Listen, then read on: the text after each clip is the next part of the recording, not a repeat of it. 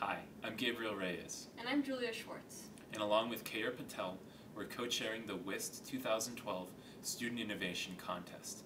The goal of the contest is to provide you with cutting-edge hardware to see what cool stuff you come up with. This year, Synaptics, an industry leader in human interface technology, has provided us with the revolutionary new input device codenamed JEDI. JEDI provides high resolution, independent tracking for up to five fingers and also adds one new dimension. Synaptics will be releasing more about this secret product in early August, so stay tuned for more technical details. But for now, we can show you some demos. The JEDI API is written in C++, and here you can see a sample showing data. The rectangle below simulates a touchpad.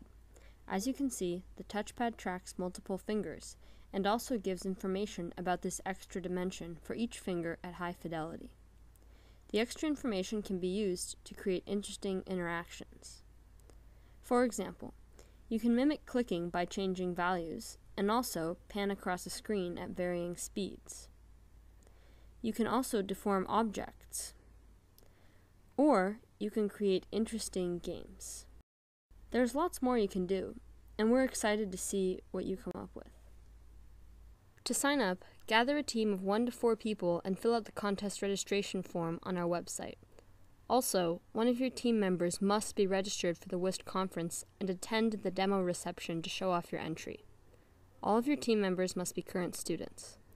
The JEDI API is currently Windows only and runs on Windows 7.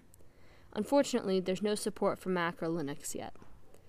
We will send out the hardware development kits in August, so you can begin prototyping for the presentation on October 8th. This year, we're also providing two travel grants of $1,000 each to cover travel expenses and registration for high school and undergraduate teams only.